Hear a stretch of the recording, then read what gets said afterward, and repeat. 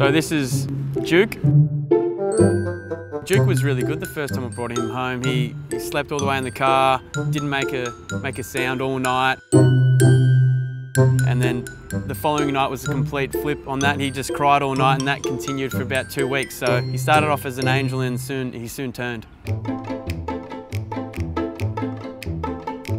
Player who's most like at the footy club's probably Sam Mitchell. And that's pretty ironic because Sam definitely doesn't like pets. He certainly doesn't like Duke. But I think Duke's pretty confident, sometimes a little bit arrogant, which is uh, probably Sam Mitchell to a T. I didn't um, intend on making him a, a, show dog or a model dog. I think he's a good looking dog, so I, I try to show him off when I can. Most people seem to think he's pretty cute, so wherever I take him, he gets a bit of attention. And the day that I'm feeling not too great, when I get home, he's always excited to see me, so Duke and, and footy balance well.